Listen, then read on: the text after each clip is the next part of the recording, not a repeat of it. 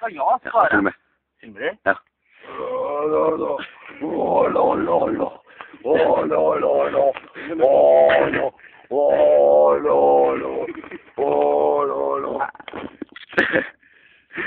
Nei, nå kommer